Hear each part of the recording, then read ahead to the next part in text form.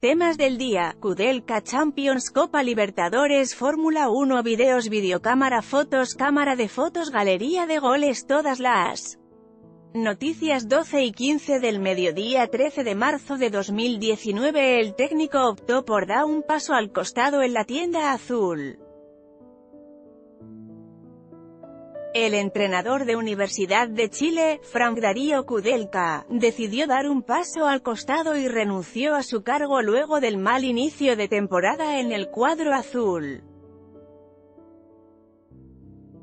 De acuerdo a lo informado por Al Aire Libre en Cooperativa, el entrenador cordobés se juntó con parte de la directiva en la cita no estaba Carlos Heller en una